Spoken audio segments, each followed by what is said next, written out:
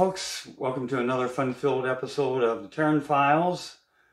If you call it fun-filled. I think it is. Okay. Um, I'm here at uh, 106.3. I almost said well, 106.7. competitor.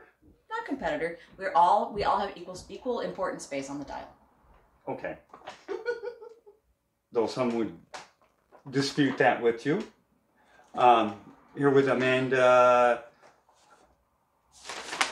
Dagley. Dagley. That's it. Well, honestly, some people say Dagley, which is not how you pronounce it. So some people get hung up on the Dagley Dagley. So I always help out. Yeah, yeah. Okay, okay.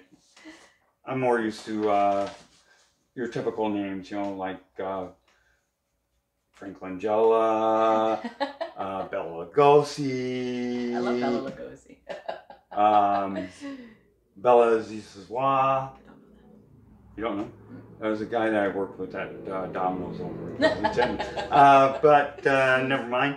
Um, we are going to talk a little bit about um, how you started in, you can say, the music industry. I, I mean I, I was just say radio in general, but I've always liked music, so it's always it kind of sometimes you know local bands have kind of intersected with my life too. So Yeah, that yeah. yeah, But um, music's just very important to me, Oliver.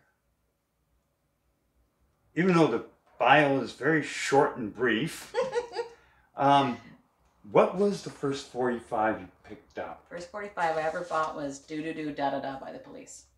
Oh, God. I was barely like tall enough. I was four years old. I was very tall enough to see over the record town counter. And uh, I bought it and I, I played it to absolute death. And I think the second one is Abracadabra by Steve Millicat. oh. I know. Good. What, I know what the third one is too. Okay. It's Alan Parsons' project, uh, Games People Play. So there's my good first song. three. Good song. Good song. Um, for me, I was like four, and it was the soundtrack to Chitty Chitty Bang Bang. Oh, I love that. I love. I love uh, Dick Van Dyke anyway. Yes, and I dare anybody to do karaoke and try and keep up with that song because if you can keep up with Dick Van Dyke doing that, you are awesome. yes, he and he's still going. He's like in his nineties now, and he is unstoppable. I love him. hmm hmm But um, you went to Plattsburgh State. I started at Clinton Community for two years, um, and then I went on to Plattsburgh State um, as a junior. And I was too shy to do anything with the radio station right away, so I took a whole semester to like stalk around and see what was going on. And then by my second semester, I started working in their music department, which just helps you collect all the songs that are going to be played. So we all did Mhm. reviews of stuff, and that's when I sort of got into it. It was like the spring of uh, of my first year. But Yeah. I, I, I was still too I was still too scared to do my own show for a while. Actually, I think actually if I I think that was about right. Yeah, I think I did a show for like a year and a half, but it, I was just too scared. So it, it wasn't just one of these things that you just went into all head first. I knew. Well, honestly, I want. I'll be honest. I wanted to be a VJ on MTV, like more than anything. Yeah, yeah. and I thought maybe radio was the closest way I could get to that. So I, when I went to Plattsburgh State, I knew I was going to do communications. I knew I was going to do the radio station, but that Mhm. first semester, I was just like, I was overwhelmed by this. It's funny now. I've been a student at Plattsburgh State for my undergrad and my master's, and I know that that whole school like the back of my hand. Right. Although I still can't figure out Yokum, it's still a mystery to me, even though I spent all the time there. But it seems so big and overwhelming to me. From going to Clinton, which I loved it because it was such a, it's a beautiful campus, and it was so so I I knew where everything was, and I was so scared and overwhelmed. Yeah. I didn't want to do anything other than to get to my classes, and that's all I could Yeah. handle. So your major was in communications. I have a I have a bachelor's uh, in communication. I have a master's degree in communication. Did better than I did when I went to uh, Champlain College. Flunked out, Oh, and it was English that killed me. And that's just because dyslexia does it all the time. I, I have a I struggle with math, not in just a way that it's just like I don't understand. Like I really, I was uh, kind of not treated well by a math teacher when I was a little kid, and it's given me some some complex around math. So Mm, if I look back on the things that that hung me up the most and I struggled with the most in school, it was always math, and that kind of prevented me from doing things that I, you know, getting the grades that I wanted, the Yeah. GPAs that I wanted. Yeah, I understand that completely. Um, it sucks, hmm you know, and it would be nice if back when you were in school and I was in school, we had the technology that we have today. Yeah. Because speech to text is awesome. Oh yeah. Um, except when it tends to put out words that's like, wait a minute here. Well, I don't. I might have a friend that uses it quite a bit, and I've learned to decipher it. And hers are like absolutely, they're so funny. And uh, I don't use it because I've never really gotten cell phones that were like good enough to do it. Although now I have a new nice cell phone, so I'll probably start using it. So I can't wait to see what ones I come up with. Yeah, yeah, But um,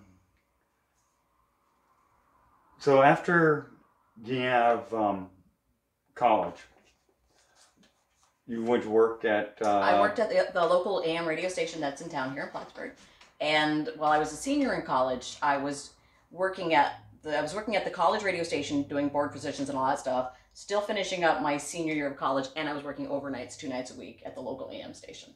So I was really into it by that point. So I figured by the time I'd gotten hired at that radio station, I'm like, well, I guess you know, radio's what I'm going to do. I always wanted to be, you know, I always wanted to do something. Like I love mm-hmm. Wolfman Jack. I watched, you know, you know, Midnight Special. That was huge to me. You know, I wanted to always be talking about music to people. I Right. didn't know how that was going to work out Yeah. because I didn't know, you know, I didn't know if it was going to be MTV or I, you know, I didn't know it was going to be radio. Quite honestly, that's just what I wanted to do. Yeah. Was talk to people about music. Yeah. Well, um, fortunately for me,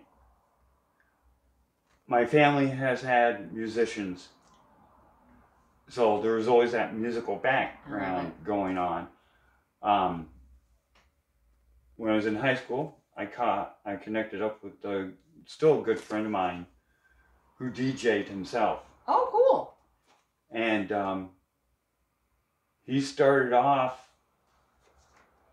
just DJing bar- parties, That's hey, that's it. And then you build up a following. and he built up a massive record collection. Oh, yeah. And that's back in the days when DJs used records. It Right. got it got easier when it turned to CDs, and now it's all digital. But man, I admire the early DJs, especially the club DJs that would Mhm. just bring their their milk crates full of Oh, yeah? records, pounds Oh, and pounds of records. A- and there were plenty of times in which I helped him out, and Yep. he had two 150 pound Yamaha speakers. Woof. It must have been. That must have been nice. Yeah. You're a good. You're a good friend. oh, You're a good friend. trying to carry one with the help still kills me. Seriously though, I I've I've roped my friends into doing things like that. So if you're watching, I thank you for all the stuff that you've lugged. I appreciate you. but um, how long were you at the uh, the other side? yeah the local? 18 and a half years. 18 Good. and a half years. Yeah. Off and on. I mean, I was there and then I left and worked in the private sector. I say that's funny. I always say the wire that, you know, what like radio is my life, but when I go and do other jobs outside it's private sector. And I don't know why. It's just kind of like I feel like you're kind of when you're in the media, Yeah, you're in the middle of stuff and you're, you know, you're you're public. right. So when I worked at other other places of employment, it got to be like I got to be secret. I used to go by my married name in those jobs, and nobody knew who I was. You Oh. know. So often, I think I left twice, and the last time I came back to that station, I came back as station manager, and I was that a station manager for like two and a half years, hmm something like that. Yeah. So I mean, I started out as doing like the literally graveyard shift, and over 18 and a half years ended up running the place. Yeah. Did you when you um were at the other station? Did you have a nickname that you went by? I don't think so. I mean, kind of. I mean, it's more like it's not, it's not really a nickname. It's more like a a personality trait. I mean, I, I love cats, Mm-hmm. so I talk about my cats on the air a lot, and that really helped me identify with my listeners. Yeah. You know, I had a cat pass away, and people were like calling me and talking to me about Yeah. it. And uh, you know, I've had people send me gifts, and this still happens to this day here, so it's kind of continued as a legacy. Uh, people will send gifts to my cats. My cats got Christmas presents from a listener this year. So, Uh, uh, the friend that I told you about, when he DJ'd at Castleton's radio station, he was known as Gronk, the audio frog. I love it. What type of music did they play? Uh, they played, um, at the time, a variety of music. Um, anywhere from punk Nice. to ska Nice. to classic rock. Nice. Um, he got so good at doing mixes Oh, that's hard. On, her. oh, it's such a that that he was able to do really good compilation mixtapes. Mm, That's good. That's a skill. That's that is Mhm. a skill I don't think people if you didn't grow up around that or haven't studied the the mi- oh my it's He he, that's really good. he that's was hard. he was known to do extended mixes. Oh. One of the best ones he ever did to this day is the intro to Invisible Sun. I love that song.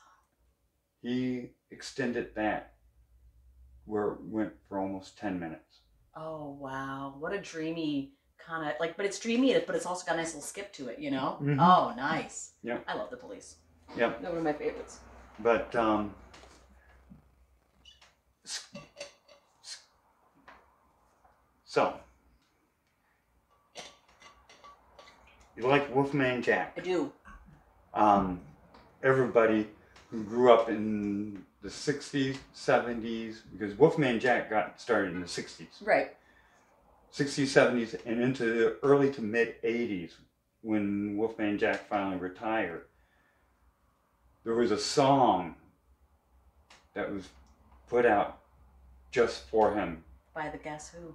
Hmm Clap for the Wolfman. Love Clap for the Wolfman. Oh, I love it, and I love that song. I just I love that song so much. And it's funny because I had not, I didn't know that song until way after I started. Because for me, it was sat. I was watching Midnight Special. I would think it was on Saturday nights. I can't remember. Yeah. Midnight Special on Saturday. So I was little, little, and we were living in Peru above my grandparents, and that was like the excitement because I could watch, you know, and he would be on stage. and it was always opposite Saturday Night Live. That's right.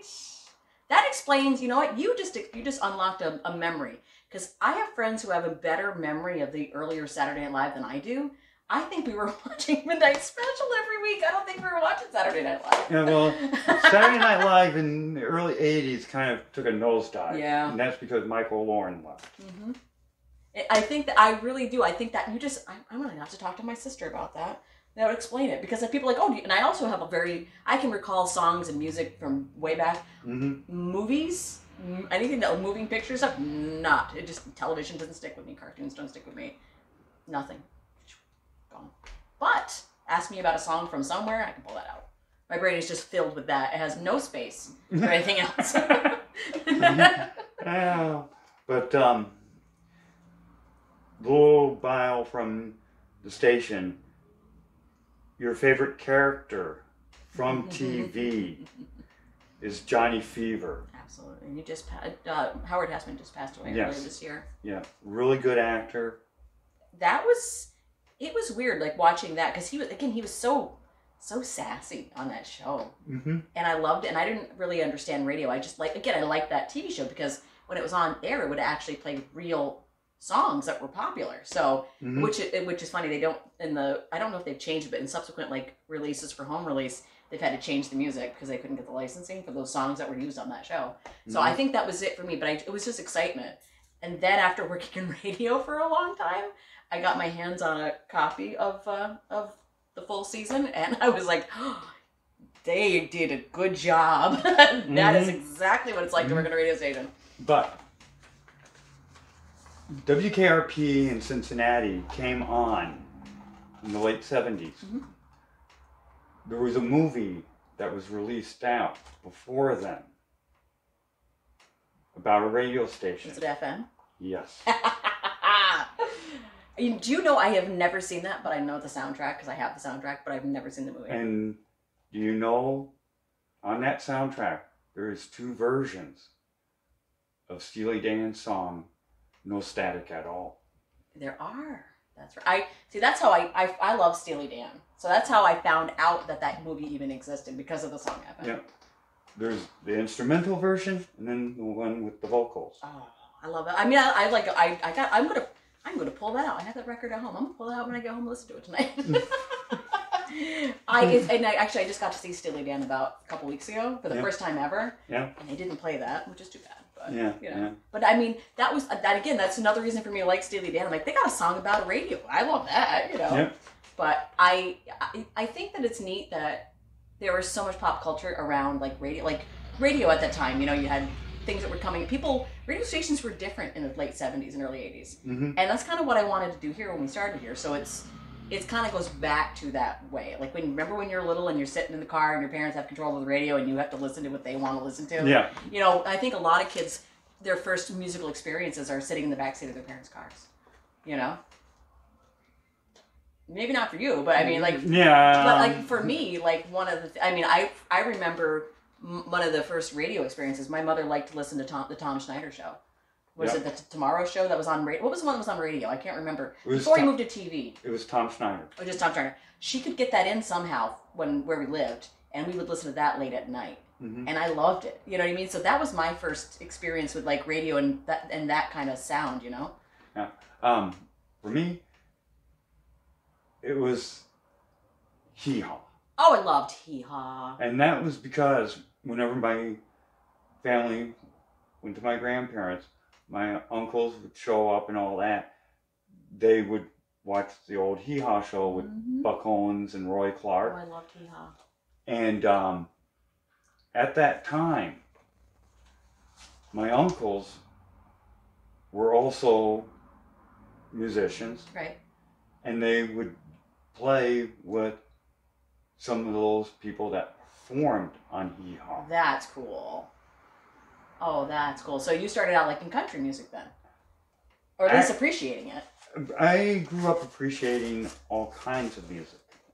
From, That's cla- important. from classical, country, rock.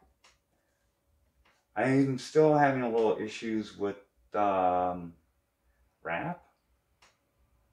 It just, I don't know. Though Faith More No More did a really good. Oh, Faith No More is my favorite band of all Yeah. time. Favorite band of all time, no Mhm. question. And I'm so happy you mentioned them. I don't know if we've talked about Faith No More before, but Faith No More is my favorite band, and it's been my favorite band since I was 13 years old. Yeah, but um, when it comes to the station itself, the history of it, and it goes back. Yeah, well, it, it, it- yes and no. Um, so what? The original WNBZ, it was an AM station out of Saranac Lake, and I think it celebrated it's close to 100 years old. That that and that frequency doesn't exist anymore. Mhm. But what you can do in when in FM licensing, you can apply to change your call letters. That's why you'll hear cool things like I don't know, like that's how we got WQKE when we were, you know, when when I was there. It used to be WPLT. PLT was sold. WQKE became something in the Quake. So if the if the letter combination is available, you can petition to change your, your call letters. So 1063, that frequency was also in Saranac Lake, and that was WYCY. Hmm. When it was moved to Plattsburgh, before we took it over, when it moved to Plattsburgh, it was changed to WNBZ, which is smart because those are call letters that are recognized in the area. And that owner wanted to expand the, that, you know, the sig- our signal is very large, so he wanted to expand that so it would be encompassing, you know, that part of the of the, the like you know the, the Franklin and Essex counties plus the, the Clinton county side of things. So it would be a, a bigger all all you know encompassing radio. So he changed the call letters. That's my that's what I believe. That's why he did it. I mean, it's a great move. And honestly, we were thinking about changing the call letters when we bought it, and I'm glad that we didn't because now we can continue the legacy of the original AM signal. Yeah. And the thing too is that when you think about it, it confuses the fuck out of some people because you say WNBZ, they think WN women. NBC? Yes. Uh, And I know there's a I haven't seen I've never seen private parts, but I know that there's a WNBC, right? There's a I think there's a cut in that. People say because people say that to me all the time. I'm like I've never seen the movie, but it is. It does sound a lot like WNBC. Yeah. So I when I'm on the phone ordering stuff for the station or something, I'm like, no, no, Z isn't zebra. Z isn't zebra. So,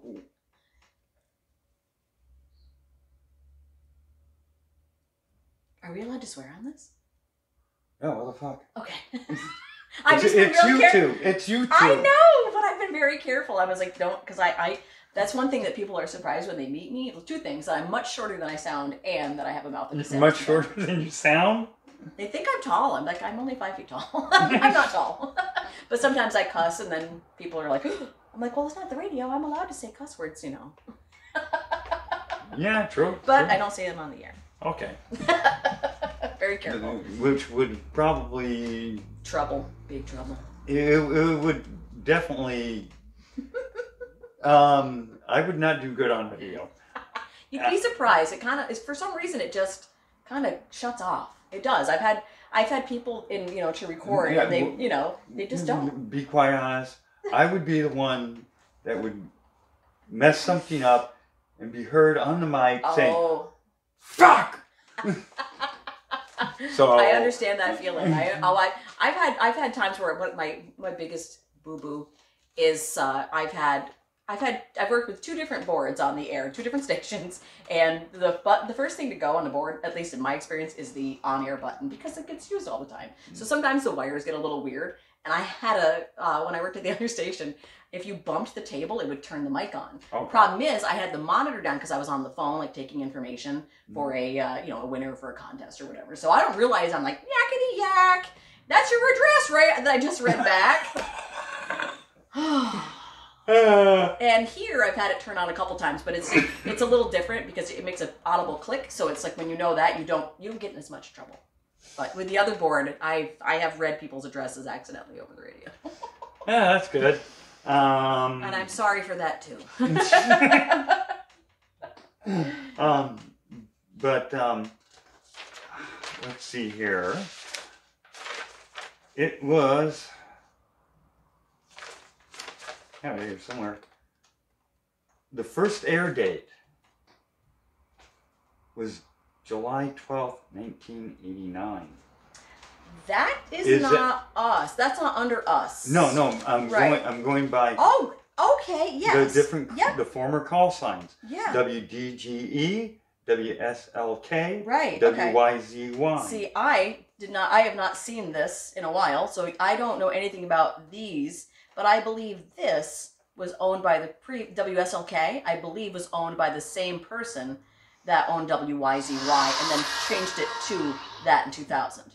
okay. That makes about that makes sense. And then in 2017, when he moved, uh, he moved it from Saranac. That makes a lot of sense. I think it was. In, I can't remember when he actually moved it. Um, but yeah, this- that makes thi- sense. Yeah, because this wasn't updated. Um, the last time it was updated was January 2014.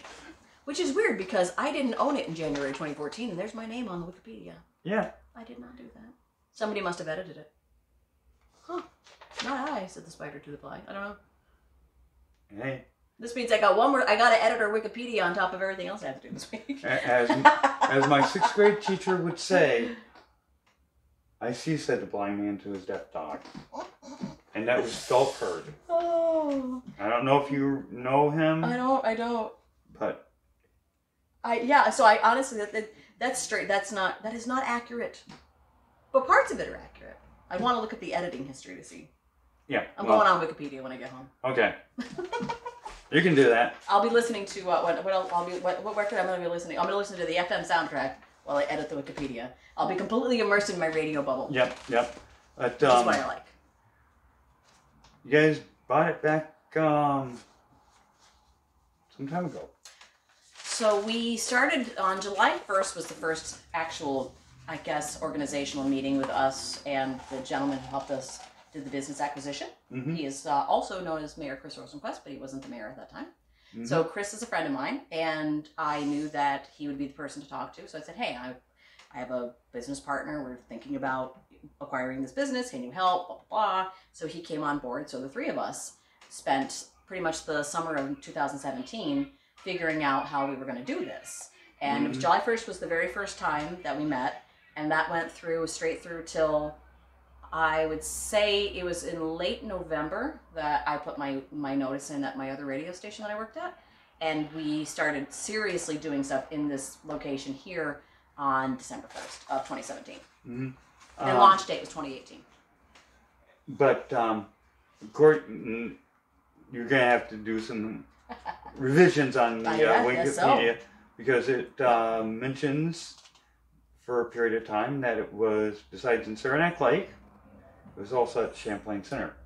It was as WYCY. So the history is, if I'm remembering correctly, they went from Saranac Lake to the mall, Mhm. and then from the mall back to Saranac Lake, and then it found a home in the the Gateway Building, Suite 420. That's Just uh, by, yep, down here uh, on the at the the big parking lot on Durkee Street. Okay. And I and the rest of the team moved it from its location uh, in the Gateway Building to this building okay. between tw- be- uh, the winter of 2017 into early 2018.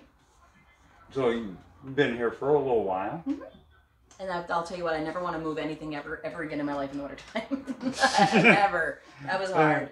Unle- Unless you're moving from one house to another house. Yes, if I if I can achieve my dream dream of uh, buying a house, I will move any day of the week. I don't care if it's the hottest day or the coldest day. That's what I want. Let's put it this way. Moving during the winter freaking sucks. Yes. My family did that twice. Oh, no. When we moved from Missouri to here, and then when we moved from here to Burlington.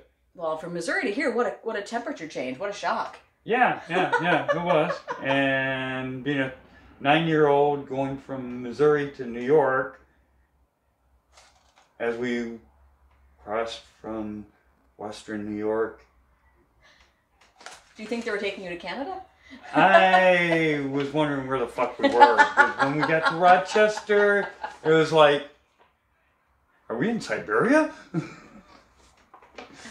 But it's pretty up here, though. yes, it is. It It is is. pretty. And I wouldn't want to be anyplace else. Me neither. My I've had friends that uh, went to school with me at Plattsburgh State that were from other like parts of New New York State. A lot of them were from like the Long Island or in the Manhattan area, and they're like, I don't know why you stayed. You should. I'm like, do you see the Adirondacks in the fall? Why And, would you and, leave? and you And Lake green, Champlain and you the green. Mountains. Like, Yes. seriously, and you can I can drive any in an hour and a half. I can be in Montreal or Burlington, and in less than five hours I can be in York. So around five hours. in New And, and a couple hours down the road, you can be in Albany. Yeah, I mean, I love it here. That's why I decided to start a business here hmm because I I love it here. I would I don't want to ever be anywhere else. hmm I'd like to uh, maybe visit places, but not really. I'm not much of a traveler. Yeah, yeah, yeah. I hear you there. Been down to Florida. I've never been to Florida. It sucks. I Uh, and and you want to know, people, this is a fact. Do not move to Florida.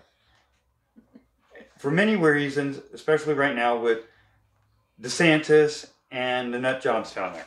Um, but I, I don't I, I don't think I can handle the heat. I know that they I just I I've not I've been to Georgia and that was about as hot as I've ever been and I loved it. It's pretty, though, but it's hot. I don't know if you remember the old I Dream of Jeannie show. I do.